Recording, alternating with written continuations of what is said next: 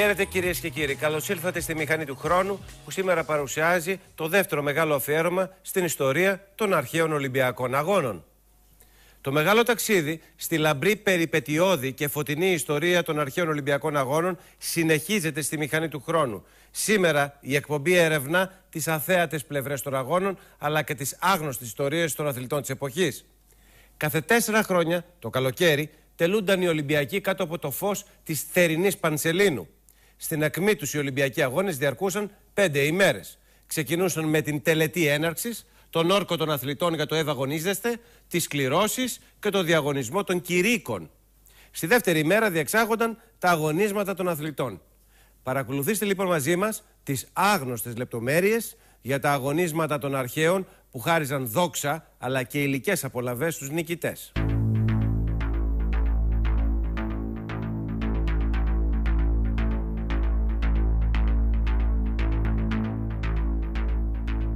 Δεύτερη μέρα διεξάγονταν τα αγωνίσματα των αθλητών.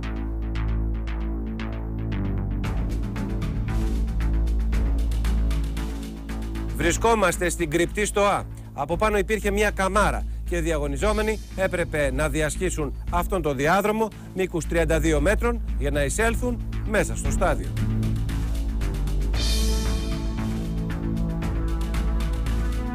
Μάλιστα εκατέρωθεν της ε, κρυπτής ε, στοάς υπήρχαν ε, δόλια, έδρανα, τα οποία, ε, στα οποία κάθονταν οι αθλητές περιμένοντας τη, τη σειρά τους.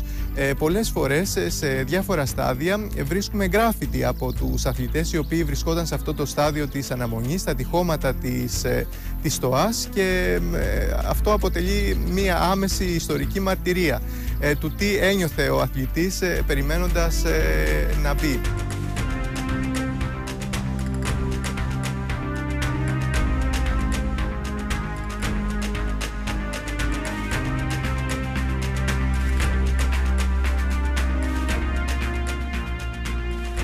Δεξιά και αριστερά ε, της εισόδου τοποθετήθηκαν δύο αγάλματα, ένα της Νέμεσης και ένα της Τύχης, προκειμένου αυτές οι δύο θεότητες να συνοδεύουν τους αθλητές στον καλό και αγαθό αγώνα που ε, καλούνταν να ε, συμμετέχουν εδώ στην Ολυμπία. Η αγωνιστική μέρα ξεκινούσε με τον διαγωνισμό των παιδών που μπορούσαν να συμμετάσχουν αν είχαν συμπληρώσει το 12ο έτος της ηλικίας τους. Για πρώτη φορά μπήκα στο πρόγραμμα το αγωνιστικό το 632 π.Χ. με το αγώνισμα του σταδίου δρόμου και της πάλης. Αργότερα ακολούθησαν και η Πυγμαχία και το Παγκράτιο. Ο Μανδρογέννης από τη Μαγνησία κέρδισε την πρώτη του νίκη στο Παγκράτιο από σεβασμό στην επιστολή που έστειλε ο γυμναστής του προς τη μητέρα του, η οποία τον είχε αναθρέψει μόνη της. Η επιστολή μέσα έγραφε «Αν ακούσεις ότι ο γιος σου πέθανε, να το πιστέψεις. Αν ακούσεις ότι ο γιος σου νικήθηκε στην Ολυμπία, να μην το πιστέψεις. Αν και αρχικά οι αθλητές διαγωνίζονταν με ρούχα, στην πορεία των αγώνων οι Ολυμπιακοί έγιναν γυμνικοί. Ε, σύμφωνα με τον Παυστανία συγκεκριμένα, ο πρώτος ο Ολυμπιονίκης στο στάδιο ε, Όρσιπος ο Μεγαρεύτς το 720 πέταξε το ζώμα του προκειμένου να διευκολύνει την νίκη του και έκτοτε καθιερώθηκε. Οι βάρβαροι, ας πούμε, είχαν μια αποστροφή προς το γυμνό, όπως επίσης και οι Ρωμαίοι, οι οποίοι παρόλο που ε, αγάπησαν ε, τον ελληνικό πολιτισμό, πραγματικά αποστρέφονταν ε, το γυμνό σώμα, γι' αυτό και δεν αγωνίζονταν ποτέ γυμνοί. Αντίθετα, οι αρχαίοι Έλληνες θεωρούσαν το γυμνό αθλητικό σώμα σύμβολο συμμετρίας ε, αλλά και ψυχικής και σωματικής υγείας.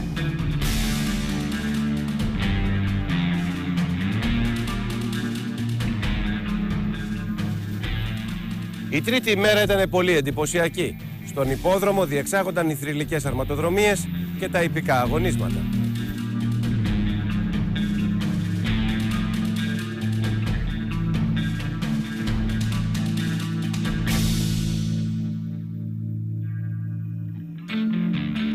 Ήταν 8 φορές σε διαστάσεις μεγαλύτερος από το συγκεκριμένο στάδιο που σώζεται και σήμερα. Ήταν 1538 μέτρα. Ε, πιο ευαίσθητο και επικίνδυνο σημείο των αρμάτων και των ύπων ήταν η στροφή, η καμπή αυτή και λεγόταν ταράξιπος. επειδή κατά την αντίληψή του εκεί ήταν ο Θεός ένας δαίμονας ο οποίος τάρασε τους ύπνους κατά τις θρησκευτικές αντιλήψεις αυτών. Εξού και η λέξη ταράσω ύπους ταράξικος. Στις αρματοδρομίες οι ενίοχοι έτρεχαν 12 γύρους. Τα αγωνίσματα χωρίζονταν σε κατηγορίες ανάλογα με τον αριθμό και την ηλικία των αλόγων. Πολύ μεγάλο ενδιαφέρον παρουσιάζει ο μηχανισμός που χρησιμοποιούσαν για να αποφεύγονται οι συγκρούσεις και τα ατυχήματα κατά τη διάρκεια της εκκίνησης.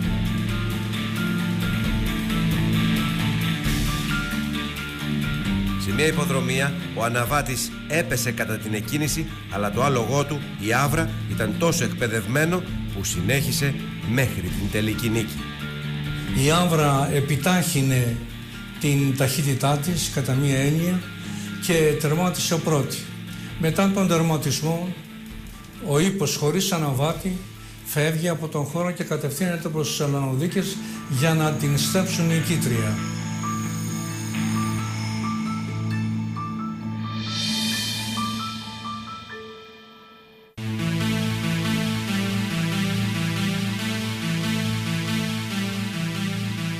Πένταθλο διαξαγόταν το απόγευμα. Οι υπεραθλητές του αγωνίσματος έπρεπε να αναμετρηθούν στο δρόμο, τον ακοντισμό, τη δοσκοβολία, το αλμαϊσμίκο και την πάλη.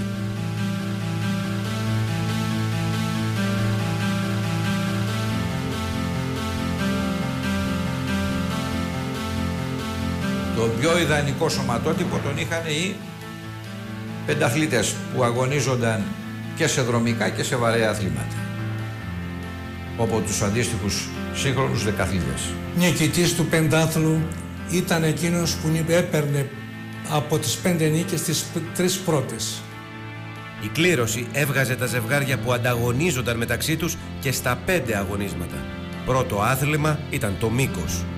Και το χαρακτηριστικό στο άλμα ήταν ότι υπήρχαν οι αλτήρες, που ήταν δύο βαράκια τα οποία κρατούσαν στα χέρια τους οι αθλητές, οι άλτες, ε, τα οποία ζύγιζαν από, από 1600 γραμμάρια έως 4600 και τη στιγμή της πτήσης του άλματος τα πετούσαν λίγο πριν την προσγείωση πίσω έτσι ώστε να πάρουν μεγαλύτερη όθηση και να κάνουν καλύτερο άλμα.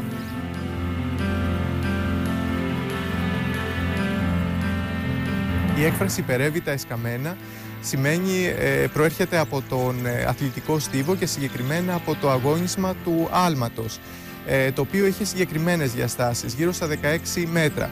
Όταν λοιπόν ο αθλητής ε, κατόρθωνε και περνούσε τα 16 αυτά μέτρα, δηλαδή το, ε, το χώρο όπου ήταν σκαμμένος και μαλακός ε, και όπου αναμενόταν να ε, προσεδαβιστεί κατά τη διάρκεια του άλματος, ε, γεννήθηκε τότε η έκφραση αυτή «υπερεύει τα, τα εσκαμμένα» και απόκτησε την μεταφορική έννοια την οποία γνωρίζουμε και σήμερα. Ο, ο Φαΐλος από τον Κρότονα ε, στο άλμα ε, πήδηξε τόσο, με τόση δύναμη που ε, πέρασε το σκάμα και πέρασε από την άλλη ε, πλευρά του σκάματος και μάλιστα από αυτόν υπάρχει και η έκφραση ε, υπερεύει στα εσκαμμένα.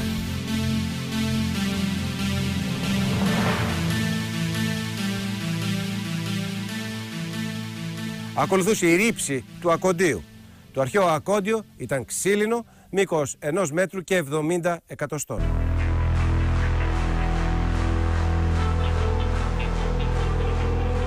Ο τρόπος ρήψης ήταν ίδιος με τον σημερινό ε, τρόπο, εκτός του ότι είχαν ε, δέσει στο ακόντιο μία δερμάτινη θηλιά, την οποία, η οποία είχαν περάσει τα δύο δάχτυλά τους μέσα, έτσι ώστε δίνανε μεγαλύτερη όθηση ώστε να πετάξουν μακρύτερα το ακόντιο.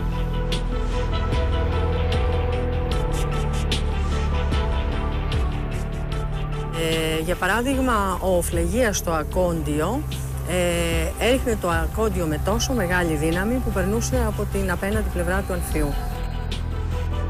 Οι δίσκοι που χρησιμοποιούνταν στο αγώνισμα της δισκοβολίας ήταν αρχικά πέτρινοι και μετέπειτα χάλκινοι, ενώ ζύγιζαν από 1.300 έως 5.700 γραμμάρια. Πάνω στους δίσκους έγραφαν διάφορες επικλήσεις προς τους θεούς. Το πετούσαν με διαφορετικό τρόπο από ό,τι πετάνε σήμερα το, τη τεχνική συνδυσκοβολία. Δεν είχαν περιστροφικές κινήσεις και βήματα. είχαν ένα συγκεκριμένο τρόπο, είχαν ταλαντεύσεις του σώματος πάνω κάτω και ορίσει ταυτόχρονα του, χε, του χεριού ρήψης προς τα πίσω και το πέταγαν κατά αυτόν τον τρόπο.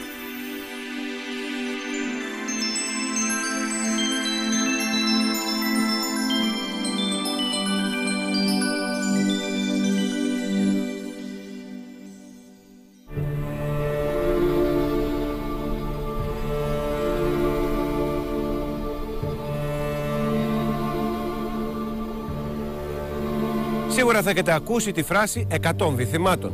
Αυτός ο όρος προέρχεται από τους Ολυμπιακούς Αγώνες και αφορά στα 100 βόδια που θυσίαζαν την τέταρτη μέρα των αγώνων στο βωμό του Δία οι αθλητές, οι διοργανωτές και οι ιερείς. Φυσικά μετά τα έτρωγαν.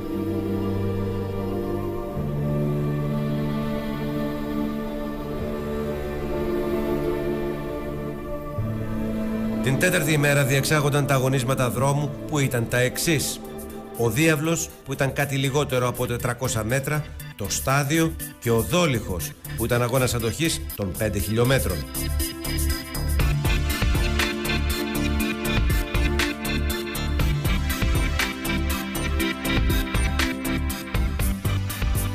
Αυτοί λοιπόν είναι οι περίφημοι βατήρες των αθλητών. Ε, είναι οι βατήρες των αθλητών. Α, αυτοί οι λύθοι εδώ στη σειρά ε, οριοθετούν το τέρμα, τον τερματισμό των αθλητών. Δηλαδή από εδώ Ο- έως εδώ είναι ένας αθλητής. Ένας αθλητής. Είναι 20 που σημαίνει ότι 20 αθλητές μπορούσαν σειρά. να τρέξουν παράλληλα, ταυτόχρονα.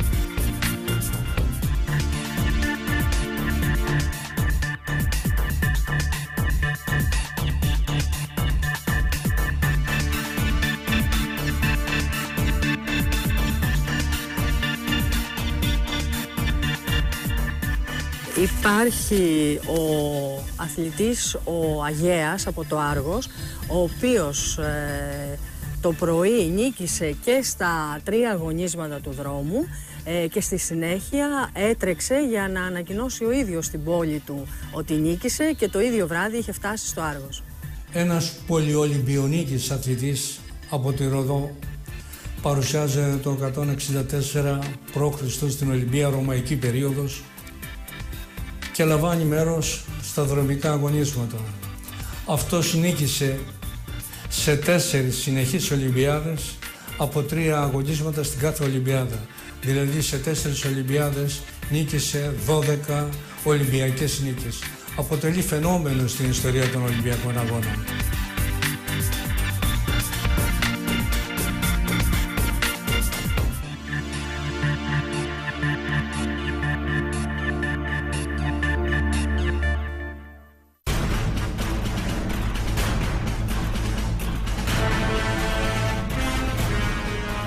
Στο στάδιο το μεσημέρι οι θεατές παρακολουθούσαν τα λεγόμενα βαρέα αθλήματα που απαιτούσαν δύναμη, αντοχή και υψηλή τεχνική κατάρτιση. Δηλαδή την πάλη, την πυγμή και το παγκράτιο.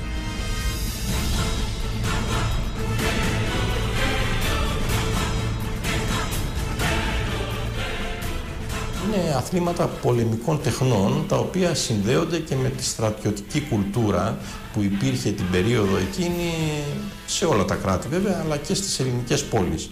Είναι μάλιστα εκείνα τα οποία βοήθησαν τους Έλληνες τόσο στη μάχη του Μαραθώνα όσο και στη μάχη των Θερμοπυλών. Αυτός ο οποίος ε, έπαιρνε μέρος στα αθλήματα συνήθως είχε και ένα υψηλό βαθμό στη στρατιωτική ιεραρχία διότι εκείνη την περίοδο δεν υπήρχαν σφαίρες και όπλα, υπήρχε η σωματική ρόμη, ήταν αυτή που έδινε, την, ε, έδινε τη λύση στο, στις, πολε- στις μάχες.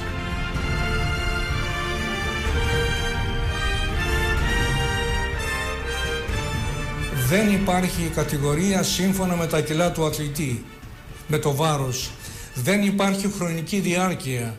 Για τον λόγο αυτόν ε, δεν ήταν, θα λέγαμε, αρετή μόνο η επίθεση του αθλητή απέναντι στο αντιπόλο, αλλά και η άμυνα. Όποιος ε, αθλητής ε, γύριζε χωρίς ε, κάποιο χτύπημα ή κάποια γρατζουνιά ή κάποια εκδορά από αυτά τα αγωνίσματα πίσω στην πόλη του, ε, τιμόνταν σε υπέρτατο βαθμό.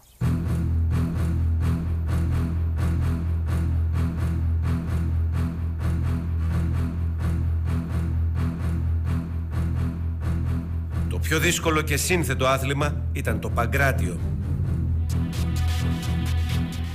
Έμοιαζε με το σημερινό King Box σε πολλά σημεία. Τα χτυπήματα ήταν επίσης και με χέρια και με πόδια και χρησιμοποιούσαν τα δάχτυλα τεντωμένα, οι παλάμες τεντωμένες και όχι γροθιές όπως στην πυγμαχία.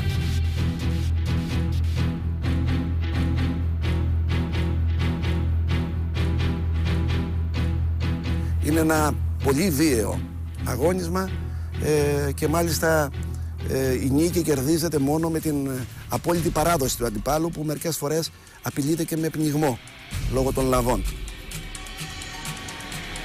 Το αγώνισμα της πάλης δεν διέφερε και πολύ από την σημερινή ελληνορωμαϊκή τόσο σε τεχνική όσο και στους κανονισμούς. Ο αθλητής εκείνος ο οποίος έριχνε τον αντίπαλο στο έδαφος κάτω, δηλαδή ακουμπούσε το χέρι ή το γόνατο στο έδαφος, ήταν ο νικητής ενός παλέσματος. Έπρεπε να κάνει τρία παλέσματα, τα δύο νικηφόρα.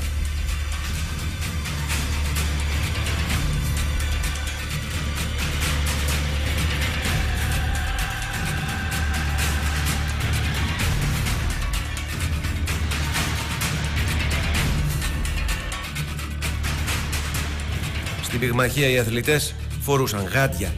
Υπήρχαν δερμάτινοι μάντες τους οποίους περιέδυναν από τον, από τον αγκώνα έως την ε, παλάμη έτσι ώστε να σταθεροποιήσουν τις αρθρώσεις τους και προσπαθούσαν με χτυπήματα ε, σε οποιοδήποτε σημείο του σώματος να κατεβάσουν τον, να ρίξουν τον αντίπαλο κάτω.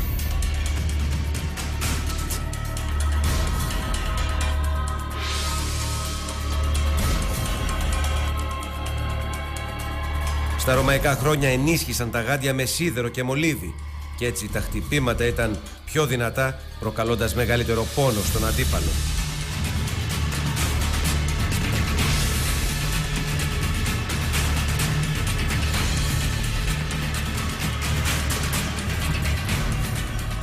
Μπορεί να απαγορευόταν το δάγκωμα, μπορεί να απαγορευόταν τα δάχτυλα στα μάτια ή μπορεί να απαγορευόταν να του πιάσεις το συναθλητή σου τα γεννητικά του όργανα, αλλά δεν απαγορευόταν να τον πιάσεις με τόσο ασφικτικά από το λαιμό ώστε να φτάσεις και σε σημείο να τον πνίξεις.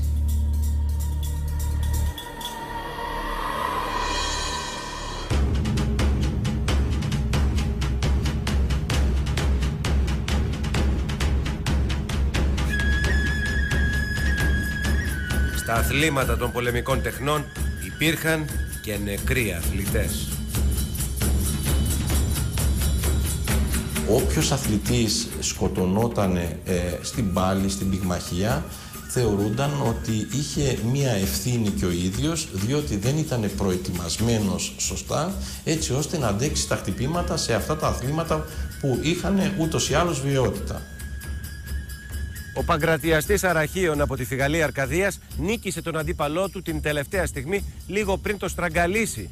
Ήταν μια αμφίροπη μάχη που πέρασε στην ιστορία. Ο αντίπαλος του Αριχίωνα σκέφτηκε να τον σκοτώσει και έβαλε το χέρι του γύρω από το λαιμό του. Ώσπου ο ύπνος του θανάτου άρχισε να κυριεύει τις αισθήσεις του Αριχίωνα. Η ψυχή του όμως του δίνει ακόμη τη δύναμη να αντιδράσει με αποτέλεσμα να ρίξει κάτω τον αντίπαλό του με τόση δύναμη που του βγήκε ο αστράγαλος από τη θέση του ενώ ο ίδιος ο Αριχίων ξεψυχά. Πέθανε τη στιγμή της νίκης του και ο Ελανοδίκης τον έστεψε νεκρό νικητή μέσα σε ένα παραλήρημα του πλήθους.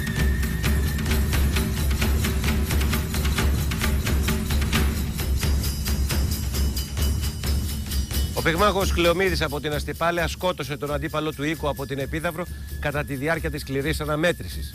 Στις πολεμικές τέχνες, ο φόνος στην ώρα του αγώνα επιτρεπόταν, εφόσον βέβαια ήταν τυχαίος και δεν υπήρχε σκοπιμότητα. Οι Ελλανοδίκες τότε έκριναν ότι ο Κλεομίδη είχε πρόθεση και γι' αυτό έδωσαν τον κότινο της νίκης στον νεκρό αθλητή. Εξοργισμένος, επέστρεψε στην πατρίδα του, όπου έκανε ένα αδιανόητο έγκλημα. Λέγεται ότι παραφρόνησε μπήκε σε ένα σχολείο, γκρέμισε τους κύονες και σκοτώθηκαν μαθητές. οι γονείς καταδιώκουν από το μένος τους τον Κλεομίδη, ο οποίος πηγαίνει σε έναν ναό για να προφυλαχτεί. Και έρχεται χρησμός από το μαντίο των Δελφών που λέει «Μου τον πειράξετε». Παρόμοια περιστατικά συνέβαιναν και σε άλλους πανελλήνιους αγώνες. Στα Νέμια, για παράδειγμα, οι παγκρατιαστές Κρέβγας από την Επίδαυρο και Δαμόξενος από τις Ιρακούσες πάλεψαν μέχρι θανάτου για να ανακηρυχθεί ο νικητής.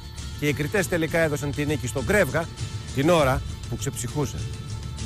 Καθώς είχε νυχτώσει και αυτοί ακόμα πάλευαν και κανείς δεν μπορούσε μεταξύ τους να επικρατήσει, αποφασίστηκε να δώσει ο καθένας από ένα χτύπημα στον άλλο. Τα νύχια του Δαμόξενου ξέσκισαν τις άρκες ε, του Κρέβγα και ο Κρέβγας ε, ξεψύχησε.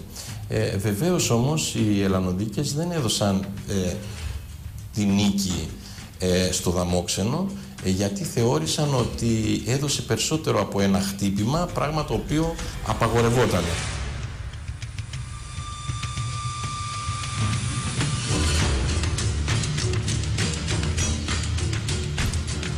Ο Παγκρατιαστής και δύο φορές Ολυμπιονίκης Σόστρατος ήταν ιδιαίτερα βίαιος. Το παρατσούκλι του ήταν ο ακροχειριστής επειδή έσπαγε τα δάκτυλα των αντιπάλων του. Τα άφηνε μόνο όταν έβλεπε ότι, ότι ο αντίπαλός του είχε πια χάσει ακόμα και τις αισθήσεις του από τον πόνο. Ο πυγμάχος Ευρυδά μας από την Κυρίνη της Μικράς Ασίας για να μην δείξει ότι καταβλήθηκε, κατάπιε τα σπασμένα δόντια του όταν δέχτηκε ένα δυνατό χτύπημα στο πρόσωπο.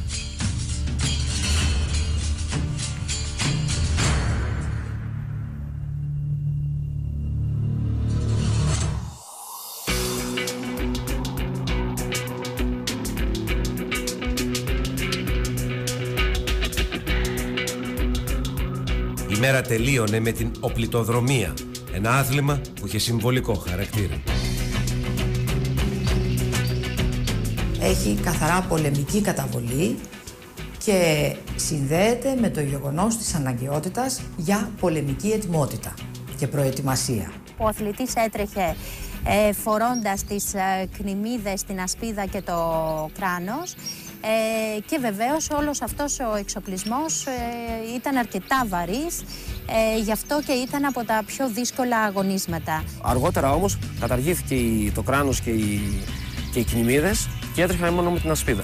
Οι οποίες ασπίδες, 25 ασπίδες, αξίζει να σημειώσουμε ότι φυλάσσονταν στο ναό του Δία από όπου τις έπαιρναν για να είναι ισοβαρείς, να είναι οι ίδιες, οι ίδιες ασπίδες για όλους, για να μην υπάρχουν παρατυπίες.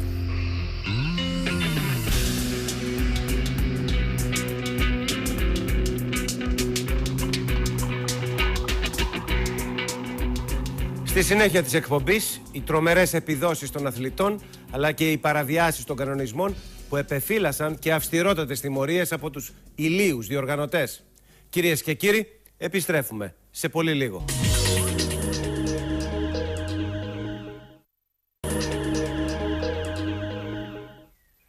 Οι επιδόσεις των αθλητών ήταν εντυπωσιακές και γι' αυτό κάποιοι λατρεύτηκαν σαν θεοί. Παρά τους αυστηρούς κανονισμούς και τις τιμωρίες, υπήρχαν βέβαια και περιπτώσεις αθλητών που πρόδωσαν τα αθλητικά ιδεώδη προκειμένου να κερδίσουν τη νίκη ή να βγάλουν χρήματα. Οι περιπτώσεις αυτές είναι ελάχιστες στη μακρόχρονη πορεία των αγώνων, αλλά τεκμηριώνουν την αγωνία των αρχαίων για την άψογη τήρηση των ιερών κανόνων.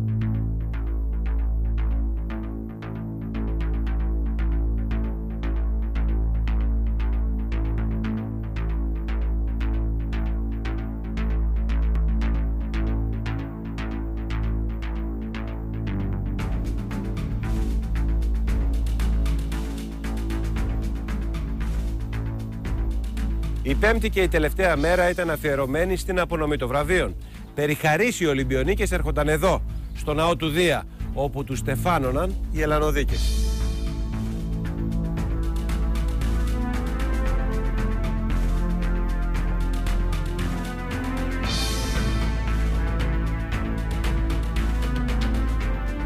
συνήθιζαν μετά το τέλος κάθε αγωνίσματος ο Ελλανοδίκης να στεφανώνει τον νικητή με μία πορφυρή μάλινη ταινία, σαν αυτή που βλέπετε εδώ και στο τέλος πια όλων των αγωνισμάτων ε, ο νικητής στεφανωνόταν με, την, με το στεφάνι της Αγριελιάς ε, που ήταν κομμένο ε, από την ελιά που είχε φυτέψει ο ίδιος ο Ηρακλής μέσα στην Ιερή Άλτη της Ολυμπίας.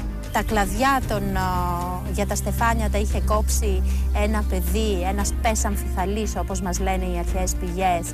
Ένα παιδί δηλαδή που θα έπρεπε να έχει εν ζωή και τους δύο γονείς του. Όλο το στάδιο των επιθυμούσε και, και ζητοκράβγαζε για αυτόν γινόταν και η φιλοβολία η λεγόμενη, δηλαδή τον έρεναν με φύλλα.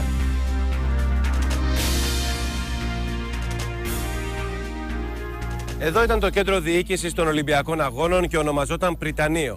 Σε αυτόν τον χώρο, το βράδυ της τελετής λήξης, οι Ηλίοι παρέθεταν επίσημο δείπνος στους Ολυμπιονίκες, στους επίσημους προσκεκλημένους και στους θεωρούς των πόλεων.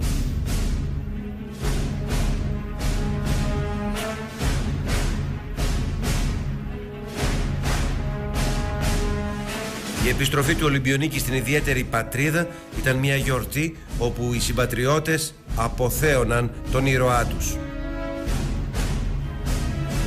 Δηλαδή, πήγαινε ο Ολυμπιονίκης στην πόλη του και υπήρχαν πόλεις που γκρεμίζαν μέρος των τυχών τους γιατί έμπαινε ο Ολυμπιονίκης. Γιατί οι πολίτες λέγανε ότι από τη στιγμή που έχουμε εμείς Ολυμπιονίκη δεν μπορεί να πάθουμε τίποτα, μας προστατεύει ο Ολυμπιονίκης μας. Επίσης, ε, δρόμοι της πόλης οι οποίοι παίρνανε το όνομά του.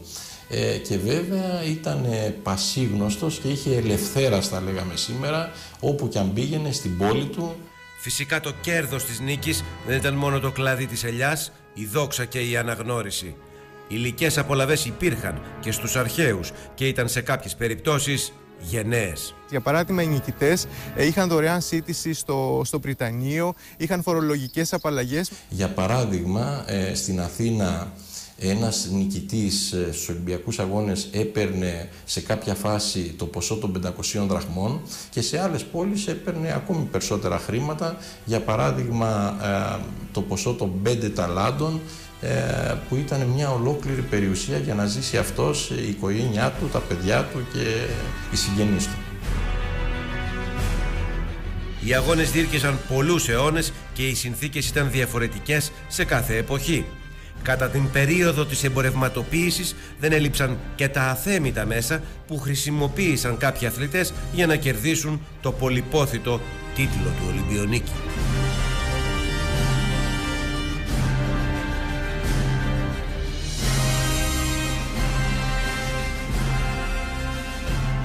Οι αθλητές που ήμουν στο στάδιο μέσω της ΤΟΑΣ αντίκριζαν χάλκινα γάλματα που είχαν τοποθετηθεί πάνω σε αυτές εδώ τις βάσεις για να θυμίσουν την ιερότητα των κανονισμών αλλά και να διασύρουν όσους τολμούσαν να τους παραδιάσουν. Ζάνες είναι πληθυντικός του ονόματος Ζεύσαν και δεν υπάρχει. Ναι. Απλά χρησιμοποιείται επειδή εδώ ήταν τα αγάλματα του Δία, πολλοί Δίες στη σειρά. Σε αυτή εδώ τη βάση φαίνεται και Εδώ, το πόδι του αγάλματος, το αποτύπωμα δηλαδή. Ε, ε ακριβώς επειδή αυτά τα αγάλματα έχουν χαθεί, εμείς μπορούμε να δούμε εδώ τη στάση που είχε το άγαλμα. Δηλαδή ο Δίας στεκόταν όρθιος κατενόπιον και στην μπροστινή επιφάνεια έγραφαν το ονόματα του παραβάτη, ε, τα ελεγεία, αυτά που έλεγαν ότι η Ολυμπιακή νίκη έπρεπε να... Ε, ε, επιζητείται μόνο με τη δύναμη των χεριών και των ποδιών και βεβαίως και τα ονόματα των πόλεων από τις οποίες προέρχονταν οι παραβάτες αθλητές.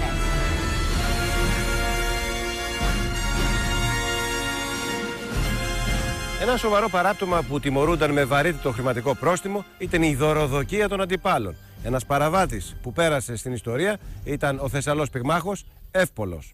Δωροδόκησε τους συναθλητές του για να καταφέρει να νικήσει. Η πρώτη τιμωρία για, την, ε, για δωροδοκία αθλητή γίνεται στο 388 π.Χ. όταν ο Εύπολος από τη Θεσσαλία δωροδοκεί τρεις συναθλητές του προκειμένου να ε, ο ίδιος να αναδειχθεί σε Ολυμπιονίκη. Μάλιστα, λέγεται ότι ένας εκ των τριών συναθλητών του, τους οποίους δωροδόκησε, ήταν Ολυμπιονίκη στην προηγούμενη Ολυμπιάδα. Ε, οι Ελλανοδίκες ε, τον ε, τιμωρούν και έτσι έχουμε τις πρώτες έξι ζάνες που τοποθετούνται εκεί διότι δεν τιμωρείται μόνο ο Εύπολος αλλά και οι τρεις αθλητές που αποδέχτηκαν την δωροδοκία.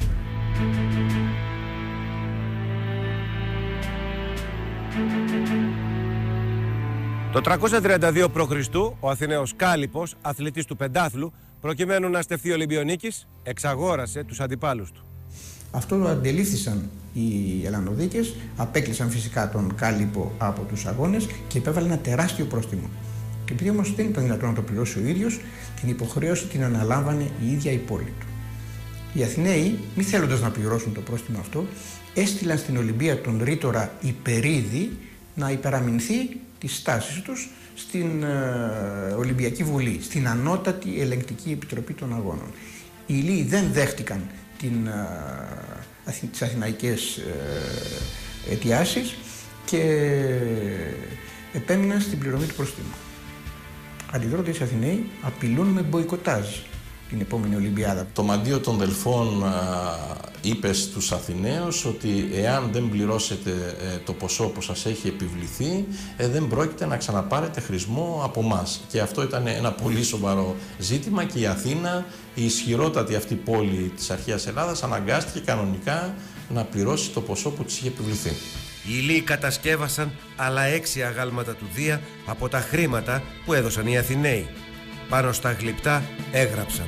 Ότι ο Ολυμπιακός αγώνας πρέπει να είναι αγώνας αρετής και όχι αγώνας χρημάτων. Ο οποίος στην πραγματικότητα θέτει και το ηθικό και φιλοσοφικό πλαίσιο του σύγχρονου ερασιτεχνικού αθλητισμού και έχει αξία παγκόσμια. Οι Ηλίοι αθλητές, περήφανοι για την πόλη τους που ήταν η διοργανώτρια των αγώνων, προσπαθούσαν πάντα να μην παρανομούν. Όμως ο Δαμόνικος, για να δει το γιο του Ολυμπιονίκη, χρημάτισε τον πατέρα του αντιπάλου του. Και οι- επειδή είναι ανήλικα, ανήλικοι οι αθλητές, οι Ελλανοδίκες που το φέρουν βαρέως γιατί είναι και ηλίως ο δωροδοκών, ε, τιμωρούν με πρόστιμο τους γονείς των παιδιών και όχι τα παιδιά. Μάλιστα, ο Φιλόστρατος αναφέρει ότι υπήρχαν και προπονητές οι οποίοι δάνειζαν λεφτά στους αθλητές για να έχουν τα χρήματα να δωροδοκίσουν τον αντίπαλο.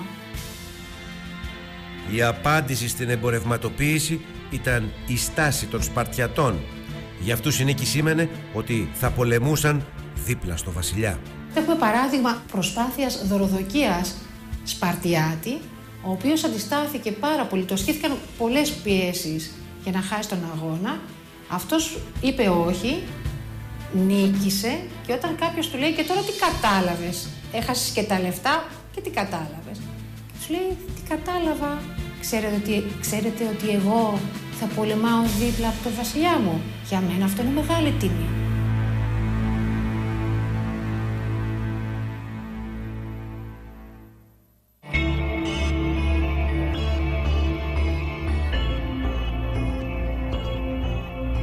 Ένας από τους πιο διάσημους αθλητές στην αρχαία Ελλάδα ήταν ο Διαγόρας από τη Ρόδο, ο πυγμάχος με τη θεϊκή κορμοστασιά και την ατσαλένια δύναμη. Μεγάλος πυγμάχος στην ιστορία με μία όμως Ολυμπιανική νίκη αλλά με πολλές πανελλήνιες είναι ο ύψους 2 και 20 σύμφωνα με τις μαρτυρίες Διαγόρας. Του αποδίδεται το προσωνύμιο ευθυμάχας. Χτυπάει ευθέως. Και νικάει σχεδόν όλους τους ε, αντιπάλους του χωρίς ο ίδιος να πέσει ή να ε, καταβάλει ιδιαίτερη προσπάθεια. Η φήμη του έγινε τόσο μεγάλη, ώστε κάποιοι έπλασαν το μύθο, συνηθισμένα πράγματα αυτά στην αρχαία Ελλάδα, για Ολυμπιονίκες, ότι ήταν γόνος Θεού, ότι η μητέρα του ενώθηκε με τον Ερμή και γεννήθηκε ένας τόσο μεγάλος αθλητής.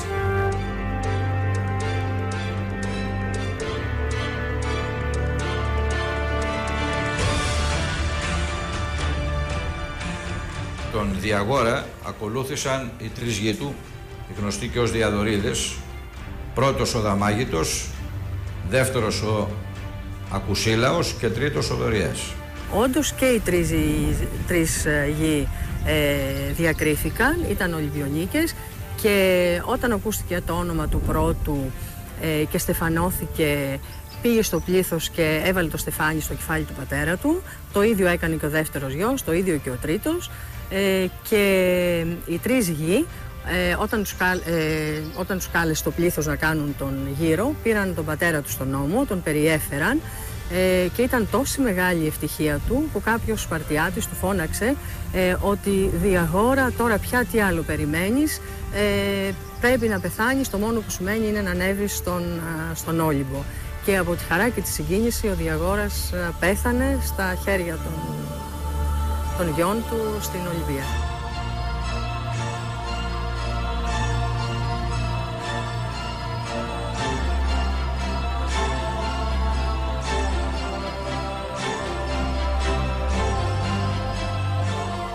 Υπήρχαν και στην αρχαιότητα αυτό που θα λέγαμε σήμερα υπεραθλητές, δηλαδή Ολυμπιονίκες που εντυπωσίαζε τόσο η σωματική τους διάπλαση όσο κατά κατορθώματά τους. Ένας από αυτούς ήταν ο Παλαιστής Μίλων από τον Κρότονο της Ιταλίας. Είχε λάβει μέρος σε πάρα πολλούς Ολυμπιακούς αγώνες και είχε γίνει περιοδονίκης. Είχε δηλαδή νικήσει σε, σε όλους τους Πανελλήνιους αγώνες. Επίσης, στην ίδια την Ολυμπία νίκησε έξι φορές. Την πρώτη φορά ως ε, πες, ως ε, νεαρός και τις άλλες πέντε ως ε, άνδρας. Εάν στην αρχαιότητα υπήρχε ρεκόρ Guinness, ο Μίλον θα είχε καταφέρει να γραφτεί πολλές φορές για τις ρηψοκίνδυνες και εντυπωσιακές ενέργειές του. Για να αποδείξει τις δυνάμεις του κάποτε, άλυψε ένα δίσκο με λάδι, με λίπος, πάτησε πάνω και προκάλεσε άλλους αθλητές ή θεατές των αγώνων να τον ρίξουν κάτω, να το σπρώξουν από το δίσκο. Κανένας δεν τα κατάφερε. Έδαινε ένα σκηνή γύρω από το μέτωπό του, σαν κορδέλα, και ύστερα κρατούσε την αναπνοή του και φούσκωνε τις φλέβες του με αποτέλεσμα να ασκεί τόση δύναμη επάνω στο σκηνή που να σπάζει το σκηνή με τη δύναμη των φλεβών του.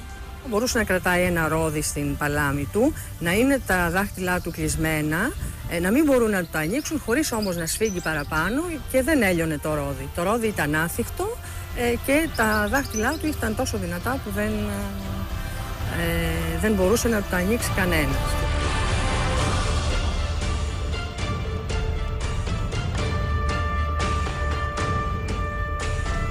Σύμφωνα με την παράδοση, ο Μήλων είχε άδοξο τέλος. Δεν τον κατέβαλε ο χρόνος, αλλά τα θηρία και μάλιστα ανυπεράσπιστο. Στο δάσος ε, που πήγαινε, ε, βρήκε ένα μεγάλο δέντρο φρεσκοκομμένο και είχαν βάλει σφήνες ε, στο άνοιγμα που είχαν κάνει για να το ανοίξουν ε, και ο Μίλων θεώρησε ότι με τη δύναμη που έχει μπορεί να ανοίξει το, τον κορμό. Έβαλε τα χέρια του ε, στη σχισμή του, του κορμού, ε, προσπάθησε να το ανοίξει, εκείνη την ώρα όμως έφυγαν οι σφήνες. Ο κορμός του δέντρου έκλεισε και έπιασε τα χέρια του μέσα. Δεν μπορούσε ο άνθρωπος να φύγει και το βράδυ κατασπαράχτηκε από άγρους λύκους.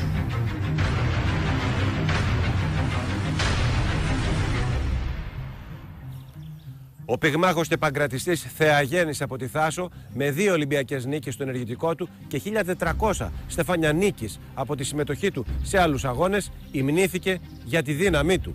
Διακρίθηκε στην πυγμή. Από τα πολύ μικρά του χρόνια φάνηκε ότι ήταν ένα πολύ δυνατό παιδί.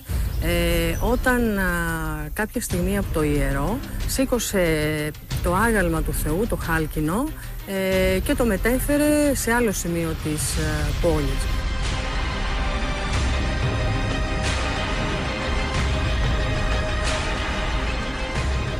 Όταν πέθανε, ένας από τους εχθρούς του μαστίγωνε από μίσος το άγαλμά του, που είχε στηθεί στην ιδιαίτερη πατρίδα του. Κάποτε το άγαλμα έπεσε και τον σκότωσε. Οι κάτοικοι της Θάσου αποφάσισαν τότε να το πετάξουν στη θάλασσα για να γλιτώσουν από τις φασαρίες αλλά δεν γλίτωσαν. Ξηρασία όμως και λοιμός επήλθε στο νησί και ο κόσμος δυστυχούσε. Οπότε απευθύνθηκε στο μαντίο των Δελφών. Το μαντίο τότε των Δελφών πρότεινε να ληφθούν υπόψη οι εξόριστοι και να έρθουν πίσω. Οι κάτοικοι της Τάσου, προκειμένου να εξευμενήσουν τη Δήμητρα, έφεραν πίσω τους εξόριστους. Όχι όμως και το άγαλμα του Θεαγέννη. Η ξηρασία και ο λοιμός συνεχιζόταν. Και όταν ξαναπήγαν στο μαντίο των αδερφών, η πυθία τους θύμισε το Θεαγέννη. Οι κάτοικοι τότε ανησυχούσαν προκειμένου να βρουν τον τρόπο για να βγάλουν το άγαλμα από τη θάλασσα. Ευτυχώς κάποιοι ψαράδες έπιασαν στα δίχτυα τους το άγαλμα και το ανέσυραν στην επιφάνεια. Η ξηρασία σταμάτησε, ο λοιμός σταμάτησε και έκτοτε οι κάτοικοι της Τάσου απέδιδαν θυσίες στον θεραπευτή και τον Θεό Θεαγέ.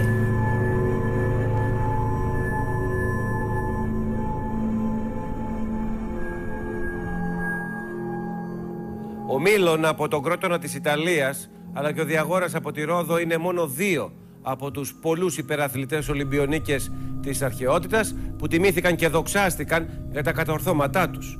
Όπως ήταν και ο Παγκρατιαστής Πολυδάμας από τα Φάρσαλα της Θεσσαλίας που θεωρούνταν ανίκητος.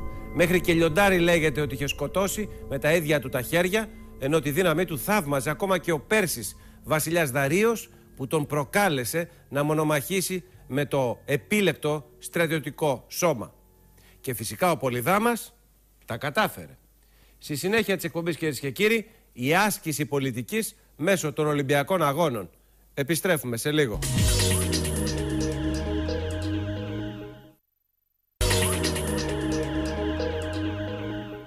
Κυρίες και κύριοι, παρακολουθείτε τη μηχανή του χρόνου και τη μεγάλη έρευνα για τους αρχαίους Ολυμπιακούς Αγώνες. Στη συνέχεια της εκπομπής, ο πολιτικός ρόλος των Ολυμπιακών Αγώνων. Ένας Ολυμπιονίκης αποκτούσε δημοτικότητα, λεωφιλία και κύρος. Γι' αυτό μετά τη νίκη τους κάποιοι προσπάθησαν να αναρριχηθούν πολιτικά χωρίς να διαθέτουν το πολιτικό ένστικτο. Ενώ οι ηγεμόνες των πόλεων κρατών για να αυξήσουν τη δημοτικότητα της περιοχής τους πραγματοποιούσαν μεταγραφές αθλητών από άλλες πόλεις. Δεν ήταν λίγες οι φορές που πολιτικές προσωπικότητες της αρχαιότητας συμμετείχαν στους αγώνες για να ισχυροποιήσουν τη δύναμή τους, όπως ο Αλκιβιάδης και ο Φίλιππος της Μακεδονίας.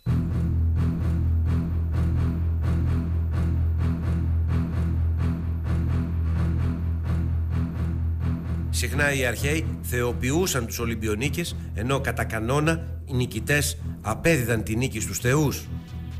Ο Ιβώτας από τον σημερινό άραξο της Αχαΐας άρχισε να τιμάται και να λατρεύεται σαν θεός μετά από χρησμό της Πυθίας.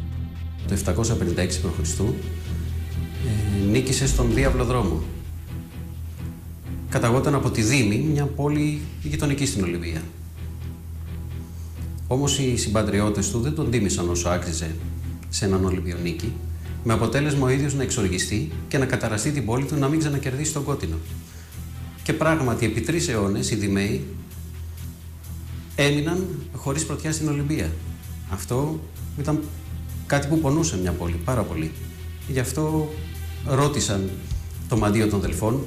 Η Πυθία απάντησε ότι για να δείτε Ολυμπιονίκη στο μέλλον πρέπει να αναγείρετε τον Ανδριάντα του Ιβώτα και εν συνεχεία ο Θεός Απόλλων θα ευνοήσει για μια τέτοια Ολυμπιακή νίκη.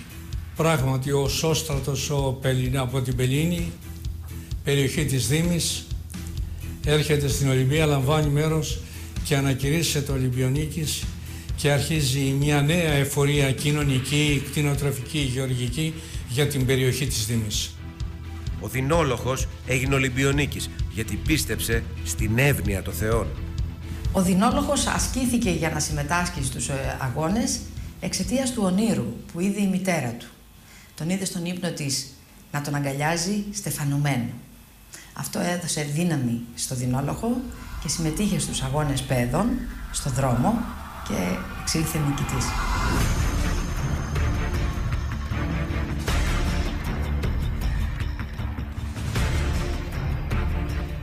Πολλοί αθλητές για να κερδίσουν περισσότερα ωφέλη άλλαζαν πόλη ανάλογα με το ποια έδινε περισσότερα υλικά αγαθά.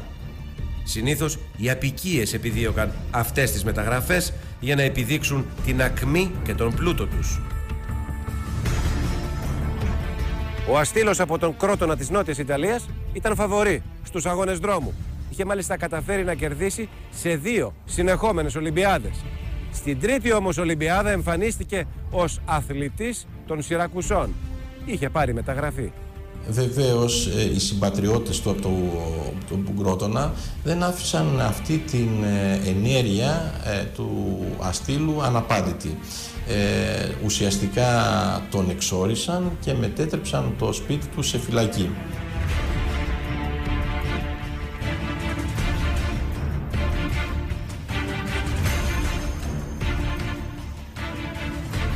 Ο Σωτάδης από την Κρήτη το 384 π.Χ. νίκησε στο δρόμο αντοχής. Το 380 στέφθηκε ξανά Ολυμπιονίκης, αυτή τη φορά ως Εφέσιος. Οι συμπατριώτες του όμως δεν το συγχώρεσαν ποτέ.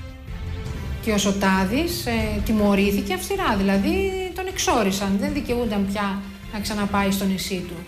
Ο Δίκον από την Νότια Ιταλία ως ανήλικος έτρεξε για την πατρίδα του. Ως ενήλικας όμως στέφθηκε ο Ολυμπιονίκης εκπροσωπώντας τις Σιρακούσες. Οι Σιρακούσες ε, ήταν, ε, το χαρακτηριστικό τους ήταν ε, ιδιαίτερα την περίοδο των μεγάλων τυράννων να πολιτογραφούν αθλητές από άλλες περιοχές στη δικιά τους περιοχή έτσι ώστε να, να κλέβουν ουσιαστικά νίκες, Ολυμπιακές νίκες.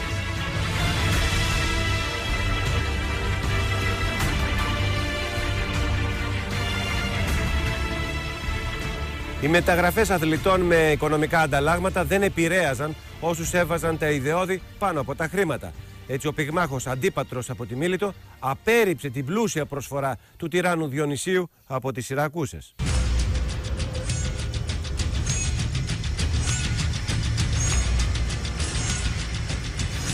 Ένας Ολυμπιονίκης αποκτούσε μεγάλη δύναμη και κύρος μεταξύ των συμπατριωτών του αλλά και μεταξύ των υπολείπων Ελλήνων. Γι' αυτό κάποιοι μετά την νίκη τους προσπάθησαν να το εκμεταλλευτούν πολιτικά. Ένας από αυτούς ήταν ο Κίλον από την Αθήνα. Ο Κίλον ο Αθηναίος το 640 π.Χ. δηλαδή αρκετά νωρίς, την 35η Ολυμπιάδα, ε, ήτανε, αναδείχθηκε ο Ολυμπιονίκης στο Διάβλο. Αυτή την έγκλη που του έδωσε η νίκη του θέλησε να την εκμεταλλευτεί πολιτικά. Δηλαδή τι, να γίνει τύρανος στην Αθήνα. Προς το λόγο αυτό κατέλαβε την Ακρόπολη των Αθηνών μαζί με τον αδερφό του και τους συντρόφους του. Οι σύντροφοί του κλείστηκαν ε, στα ιερά της Ακρόπολης για να γλιτώσουν, ωστόσο οι αντίπαλοι τους τους έσφαξαν όλους. Ο Χέρον από την Πελίνη στέφθηκε τέσσερις φορές Ολυμπιονίκης στην Πάλη. Η δημοτικότητά του και οι φιλοδοξίες του τον οδήγησαν στο ύπατο πολιτικό αξίωμα του τόπου του όταν δέχτηκε να κυβερνήσει ως τύρανος στην πατρίδα του με τη βοήθεια του Μεγάλου Αλεξάνδρου.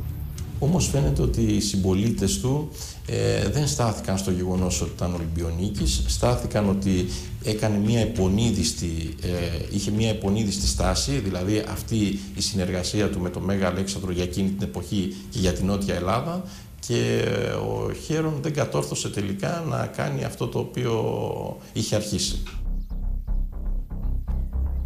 Ο Κίμων, πατέρας του Μιλτιάδη που θριάμβευσε στη μάχη του Μαραθώνα, ήταν Ολυμπιονίκης στις αρματοδρομίε. Χρησιμοποίησε τις νίκες του για να επιστρέψει στην Αθήνα, από την οποία είχε εξοριστεί λόγω της διαμάχης που είχε με τον τύρανο Πισίστρατο. Στην Ολυμπία συμβαίνει και ένα άλλο μεγάλο γεγονός που έχει πολύ μεγάλη σημασία να το πούμε. Είναι η μεγάλη ευκαιρία που έχουν όλοι οι εξόριστοι των ελληνικών πόλεων να έρθουν στην Ολυμπία και να δώσουν εδώ ραντεβού για να δουν μετά από πολλά χρόνια τους οικείους τους. Ε, αυτό είναι ένα πολύ μεγάλο γεγονός. Έτσι λοιπόν και ο Κίμωνας έρχεται στην Ολυμπία όχι μόνο για να δει τους οικείους Αθηναίους, τους φίλους του που έρχονται από την Αθήνα και έχει πολλά χρόνια να τους δει, αλλά έρχεται για να λάβει μέρος στους αγώνες. Κατάφερε και να νικήσει, να, δηλώσει συμμετοχή στους Ολυμπιακούς Αγώνες και να νικήσει το 532 π.Χ. αποκτώντας μεγάλη φήμη. Εξαιτίας αυτής της φήμης άρχισε να ανοίγεται ένας δρόμος επαφής προς την Αθήνα πάλι και με τον Πισίστρατο. Ειδικότερα κατά την επόμενη Ολυμπιάδα νίκησε με τις ίδιες φοράδες και τότε παραχώρησε τη νίκη του στον ίδιο τον τύρανο, τον Πισίστρατο. Την τρίτη φορά που στέφθηκε ο Ολυμπιονίκης, τον δολοφόνησαν οι γη του τύρανου Πισίστρατου, γιατί η δημοτικότητά του, εξαιτίας των επιτυχιών στους αγώνες, αυξανόταν επικίνδυνα. Θεωρούν ότι ε, ενσωματώνει μεγάλη πολιτική δύναμη και γίνεται επικίνδυνος για την εξουσία τους. Απέναντι ακριβώς από τον τάφο του ενταφίασαν και αυτές τις φοράδες με τις οποίες είχε ανακηρυχτεί νικητής επί τρεις φορές. Ο Αλκιβιάδης πήρε μέρος στους αγώνες για να προωθήσει τις πολιτικές του φιλοδοξίες και να αποκτήσει ακόμα μεγαλύτερη δημοτικότητα. Το 416 ο Αλκιβιάδης συμμετέχει ο ίδιος στους Ολυμπιακούς Αγώνες ως ε, ιδιοκτήτης αρμάτων, τεθρύπων που συμμετείχαν στην αρματοδρομία και μάλιστα όχι μόνο με ένα άρμα, αλλά με επτά άρματα. Και τα δικά του άρματα ήρθαν πρώτα, δεύτερα και τέταρτα. Η Ολυμπιάδα αυτή ήταν ο μεγαλύτερος τρίαμβος για τον Αθηναίο στρατηγό. Ε, ακόμα λέγεται ότι στην τελευταία μέρα, όταν του απονέμεται τελικά το βραβείο και παίρνει τον κότινο, παραθέτει ένα τραπέζι σχεδόν για το σύνολο των παρευρισκομένων θεατών στην Ολυμπία. Ύστερα από έναν περίπου χρόνο, μιλώντας στην εκκλησία του Δήμου υπέρ της απόφασής του για την εκστρατεία στη Σικελία και προσπαθώντας να πείσει τους Αθηναίους να τον αναδείξουν αρχιστράτηγο, τους είπε ότι η συμμετοχή μου στους Ολυμπιακούς Αγώνες ένα χρόνο πριν έδειξε ότι η Αθήνα ήταν ισχυρότερη από την πραγματική της δύναμη. Άρα εγώ είμαι αυτός ο οποίος με τις ενέργειές μου έχω αναδείξει και την ίδια την πόλη μου. Άρα αξίζει να με κάνετε αρχιστράτηγο. Έπεισε τους Αθηναίους, γίνεται ένας από τους αρχιστρατήγους της ε, Σικελικής Εκστρατείας. Μετά την αποτυχία όμως φεύγει από, την, από το πλοίο που τον οδηγούσε στην Αθήνα, όπως γνωρίζουμε, μεταβαίνει στη Σπάρτη, πηγαίνει δηλαδή στους εχθρούς της πόλης του. Εκεί σαγηνεύει τη γυναίκα του βασιλιά, τη βασίλισσα, και γεννάει μαζί της ένα παιδί. Φαντάζεστε την, το ράπισμα που ήταν για τους Λακεδαιμονίους αυτή ακριβώς η συμπεριφορά του αλαζόνα Αθηναίου πολιτικού.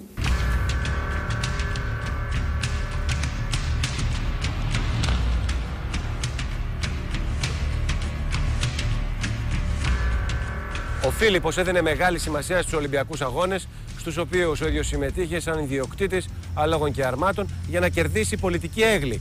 Καθώς στις αρματοδρομίες και στις υποδρομίες, ο Ολυμπιονίκης ανακηρυσσόταν ο ιδιοκτήτης και όχι ο αθλητής.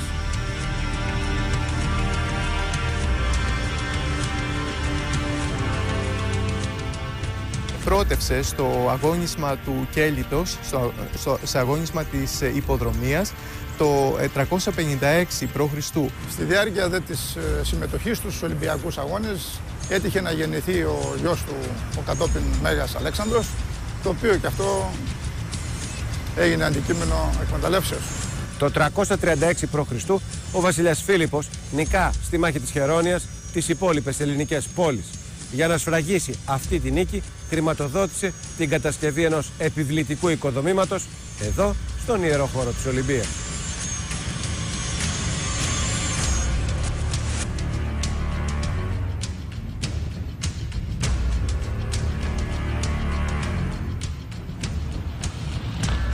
Το γεγονός ότι οι Λύοι επέτρεψαν την οικοδόμηση ενός κτηρίου από τους Μακεδόνες ε, δείχνει ε, όχι μόνο την ελληνικότητα, την προφανή ελληνικότητα της Μακεδονίας, αλλά και ε, το ότι πλέον οι Μακεδόνες ε, είναι κυρίαρχοι του ελληνικού και του ελλαδικού χώρου ευρύτερα το Φιλιππίο. Ε, τελικά το ε, τελείωσε ο Αλέξανδρος, δεδομένου ότι ο Φίλιππος δολοφονήθηκε το 336 και ε, τοποθέτησε μέσα του σε ημικυκλικό μαρμάρινο βάθρο το οποίο βρίσκεται στο έθριο του Αρχαιολογικού Μουσείου της Ολυμπίας έξι χρυσελεφάντινα, τα πέντε χρυσελεφάντινα γάλματα της βασιλικής οικογένειας του εαυτού του, του πατέρα του του Φιλίππου, της μητέρας του της Ολυμπιάδας και των παππούδων του.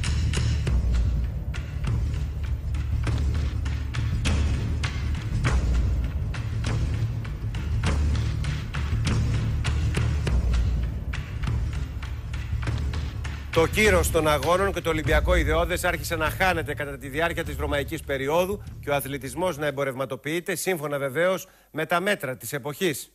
Για παράδειγμα, ο Νέρονας δεν δίστασε να αλλάξει τη χρονιά διεξαγωγής των αγώνων προκειμένου να λάβει μέρος ο ίδιος. Ενώ στέφθηκε νικητής στις αρματοδρομίες παρόλο που έπεσε από το άρμα του. Πλέον λαμβάνουν μέρος όχι μόνο Έλληνες αλλά όλοι οι Ρωμαίοι πολίτες. Γι' αυτό άλλωστε σαν τελευταίος Ολυμπιονίκης αναφέρεται ένας πρίγκιπας από την Αρμενία, ο Βαρασδάτης.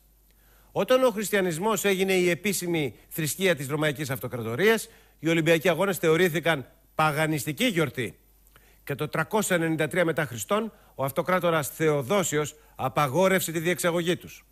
Διάφοροι λαοί, όπως οι Έρουλοι, οι Γόθοι και γερμανικά φύλλα όπως οι Βυσιγότθοι, με τις επιδρομές τους κατέστρεψαν τον άλλο του ιερό χώρο, ενώ τον 6ο αιώνα μετά Χριστόν σεισμοί και πλημμύρες σκέπασαν το ένδοξο παρελθόν της Ολυμπίας. Η αρχαιολογική σκαπάνη μόλις τον Απρίλιο του 1829 φέρνει στο φως τα πρώτα ευρήματα τα οποία οι Γάλλοι αρχαιολόγοι μετέφεραν στο Μουσείο του Λούβρου. Ουσιαστικά, οι συστηματικές ανασκαφές ξεκίνησαν στις 22 Σεπτεμβρίου του 1875 από το Γερμανικό Αρχαιολογικό Ινστιτούτο και διήρκεσαν μέχρι 8 Μαρτίου του 1881. Η Αρχαία Ολυμπία είναι ένας αιώνιος φάρος πολιτισμού που συγκινεί κάθε χρόνο χιλιάδες επισκέπτες από κάθε γωνιά της γης και είμαστε αισιόδοξοι ότι θα συγκινήσει και όσους βρεθήκαν εκεί μέσα από τη ματιά της εκπομπής. Κυρίες και κύριοι, εδώ φτάσαμε στο τέλος της εκπομπής, στο μεγάλο διπλό αφιέρωμα στους αρχαίους Ολυμπιακούς Αγώνες. Να είστε όλοι καλά. Σας ευχαριστούμε που μας παρακολουθήσατε.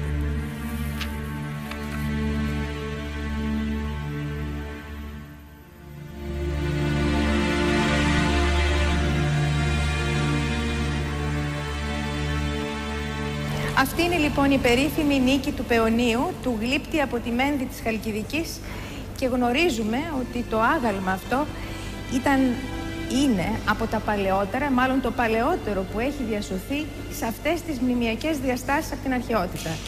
Ήταν στημένο στην νοτιοδυτική γωνία της εισόδου του ναού του Διός, μεγαλοπρεπέστατο, διότι στεκόταν πάνω σε μια τριεδρική βάση που είχε ύψος γύρω στα 9 μέτρα. Φανταστείτε λοιπόν ότι η ίδια η νίκη είχε συνολικό ύψος γύρω στα περίπου 2 μέτρα, μαζί με τα φτερά της έφτανε τα 3 μέτρα. Άρα λοιπόν όλο το γλυπτό με τη βάση και το άγαλμα έφτανε τα 12 μέτρα περίπου.